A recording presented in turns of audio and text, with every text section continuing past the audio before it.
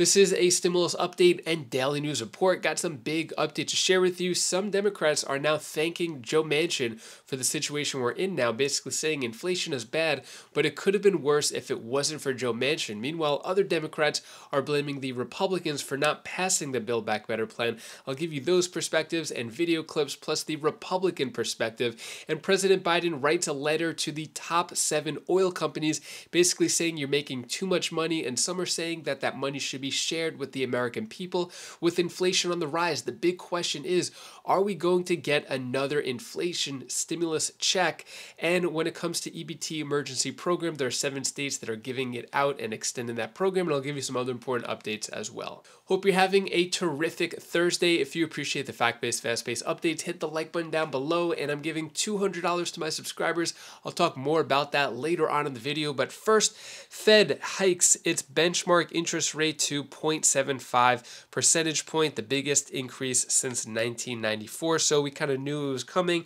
And yeah, this is big. Uh, this might cool down the housing market, might cool down the economy. It might th- make things more expensive. Uh, we'll see how this is going to go. But the stock market and crypto market is basically crashing because of all this news and the economy in general. But when it comes to the inflation and what's going on with that, MSNBC host, ex Obama advisor, praises Joe Manchin for killing Biden's Build Back Better plan. So Steve Rattner told Joe Scarborough, in an ironic way, you almost have to thank Joe Manchin. So uh, these are Democrats thanking Joe Manchin when just a while ago everybody was hating on Joe Manchin. Uh, take a look at this video clip right here. My God, I just wonder what would have happened if progressives had gotten their $6 trillion wish earlier this year. Yeah, in, in an ironic way, you almost have to thank Joe Manchin for blocking that because six and a half trillion dollars of spending in this economy would make these numbers look small. Yeah, look, we had yeah. a we had a huge budget deficit. We had an unbelievably aggressive reaction by the Fed to the pandemic. You can kind of understand why they were trying, but they just tried too hard. And now we're all going to pay the consequences in a very, very tough environment over the next year or two while this gets sorted out. And by the way, I wouldn't even say ironically thank Joe Manchin. You can just thank Joe Manchin uh, if you're glad that interest rates aren't even higher. All right, Steve Rattner, thank you very much. We appreciate your coming on this morning. So, where do you stand with Joe Manchin? Are you thanking him? Do you like him? Not like him? Did he do the right thing? Let me know your thoughts on that. Meanwhile, DNC advisor claims Republicans responsible for inflation because opposition to Build Back Better. So, what's going on here is senior advisor uh, said that Republicans are to blame for inflation because they voted against President Biden's Build Back Better Act, a plan that was originally intended to cost around $5 trillion, uh, saying that uh, if Biden administration bore any responsibility for rising costs in the United States, Tapper added economists predicted Biden's massive spending agenda could inject too much money into the economy, thus exacerbating inflation. So this is the other perspective, basically saying that the Republicans, it's the Republicans' fault why the Build Back Better plan didn't fail, which is why there is inflation. So it's so hard to know the truth of what's going on here. Uh, what another thing he said here is all of the economists said if we pass the last portion of it, it would lower those costs. And so what you would have is Republicans purposely obstructing it and keeping it from happening, then at the same time saying inflation is high. So I don't know what to believe because both the Democrat and per, uh, Republican perspective for and against Build Back Better, some are saying it would have stopped inflation, some are saying it caused inflation. Uh, regardless, with all the inflation, stimulus check update is more relief on the way to curb inflation. So, regardless of who caused inflation, we have inflation, it's getting worse what is being done about it. So there are a few provisions, a few bills in Congress, but at this point, Congress is moving way too slow to give out any type of inflation relief checks or stimulus checks to the American people. There's a lot of talk about it, but as usual, Congress slow walking everything, and it seems like almost nothing is getting done. So is more relief on the way? I think as we get closer to the midterm elections, we're probably going to see some more proposals and checks of some sort right before the midterm elections because Democrats desperately need votes at this point. And stimulus update Will my state receive summer pandemic emergency nutrition benefits? So there are seven states that are doing so. Uh, so only seven states have been approved to operate pandemic EBT program this summer. Those states are Alabama, Colorado, Indiana, Michigan, North Carolina, Vermont, Wisconsin. So extra money for food going out to those states. And then Biden urges Biden urges oil companies to boost supply, slams high profit margins as not acceptable in new letter. Could this be the path to get new stimulus checks or gas relief checks? Uh, take a look at this video clip right here, and I'll talk more about that. President Biden accusing the oil industry of profiting from the record high gas prices. That from an open letter to seven of the biggest oil companies, including ExxonMobil, Chevron, BP America, and Shell. The president wrote that historically high refinery profit margins being passed directly on to cons- the American families are not acceptable. Mr. Biden added that companies must take immediate actions to increase the supply of gas, diesel, and other refined product. If not, the president warned, he is considering invoking emergency powers to boost America's oil supply. This comes as we're all feeling the pain at the pump. AAA reports the national average gas price is about 5 bucks a gallon. 50 cents more than last month, nearly two bucks more than last year. CNBC's Kayla Tausche live at the White House. Kayla, first he put it on Putin. Now he's blaming both Putin and big oil. Well, Shep, President Biden is now asking major oil companies to explain why they haven't returned to pre pandemic levels of refining and enjoying those higher margins in the process. ExxonMobil, for one, responded to the White House saying, We've been investing through the downturn to increase refining capacity even during the pandemic when we lost more than $20 billion and had to borrow more than $30 billion. Overall, in the United States, oil refiners are operating at about 94% capacity, though the amount of oil they're capable of refining has fallen by about 1 million barrels of oil per day since the pandemic peak. Today, the press secretary said companies should increase gas supply at all costs for the good of American consumers. We see that as an important first step uh, in making sure that the oil refineries are doing their, their part, again, patriotic duty in making sure that they're putting out capacity and they're not uh, taking advantage of a, uh, of, of a war uh, that is hurting the American public. Industry executives, I'm told, have privately provided some of their own tactical suggestions, like the White House investing alongside companies to reopen shuttered refineries, paring refining regulations, supporting an existing oil pipeline from Canada called Line 5, and removing steel tariffs that have made drilling equipment more expensive.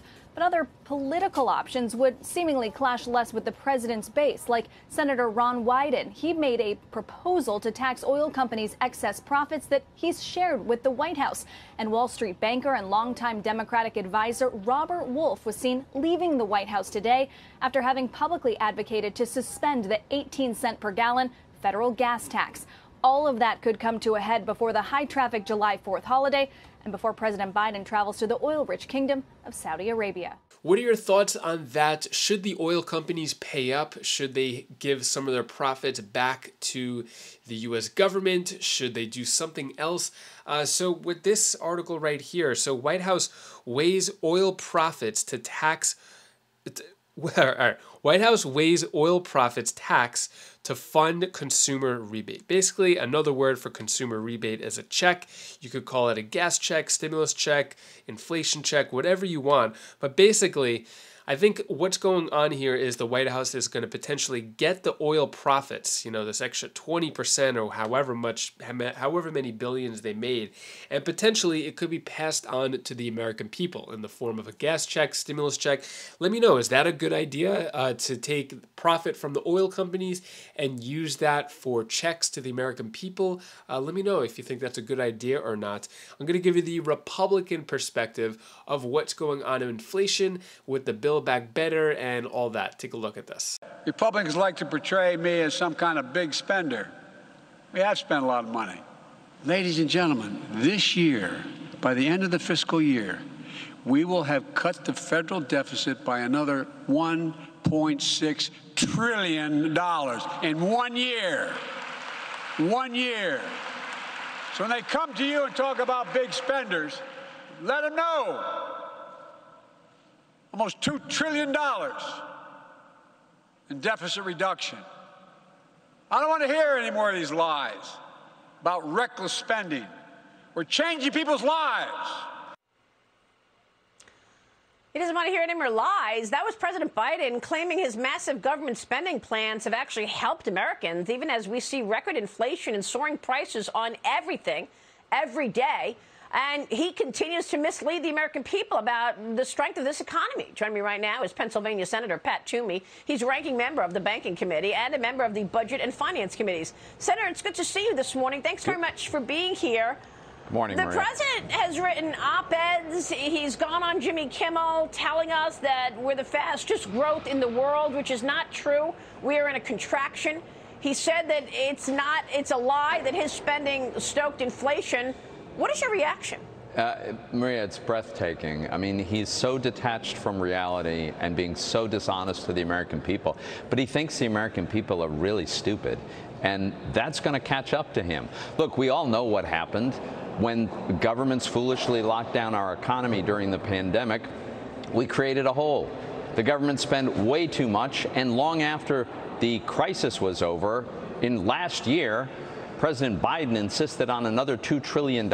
Every Republican voted no. Democrats made that tremendous wasteful massive spending uh, pass. It's done a tremendous amount of damage. And the only reason we're not doing more multi-trillion dollar bills even now as we speak is because every Republican opposes President Biden and Joe Manchin and Kyrsten Sinema won't go along with him. I mean, for him to claim credit for a reduction in the deficit. The reduction in the deficit is despite Joe Biden, not because of Joe Biden. Yeah, I mean, look, that's what I want to ask about because how does he get away with all of these this false uh, reporting? Uh, all of these falsities. And right now, isn't it true that your colleagues on the left are still pushing this spending Every package, Build Back day. Better? Maria, every day. So what? Chuck Schumer day. wants a reconciliation package. Trillion, and it's trillions. They want trillions more in spending. President Biden is the main driver of this. It is only it's the fact that every Republican opposes it, and Joe Manchin and Kyrsten Sinema won't go along is the only reason we haven't been hit with another massive multi-trillion dollar spending bill. And by the way, that he thinks they're helping people.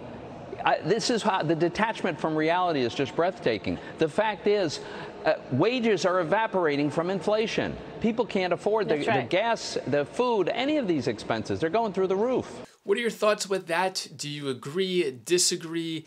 Uh, seems Democrats and Republicans just keep getting, more and more split apart in terms of their beliefs, or has it always been that way? Uh, I don't know. It seems a little more divisive lately, maybe because of midterm elections. But, anyways, that is all the news that I have for you today to hopefully cheer you up a bit. Here's my daughter Bella's tip of the day. Hi guys. Hi guys, this is Belle. This is the tip of the day. I want to tell you one. I want to tell you something. If if you can't find a way to do something, then then do something that you really want to do that you haven't done. Hi, guys. least if you can't make the first one happen. Uh, so that's all I wanted to say. Say bye. Bye. Thank you so much for watching. Appreciate your time and support. Yesterday, went to the beach with the girls, had a great time. Got maybe too much sun, uh, and yeah, had a good time eating watermelon and stuff on the beach. Um, we just love the beach. We were only like 15 minutes away, but hopefully you have a great rest of your day. If you want to check out my latest pickleball video, you could click up here, and I'll see you in the next video. Take care, be safe. Thank you for watching.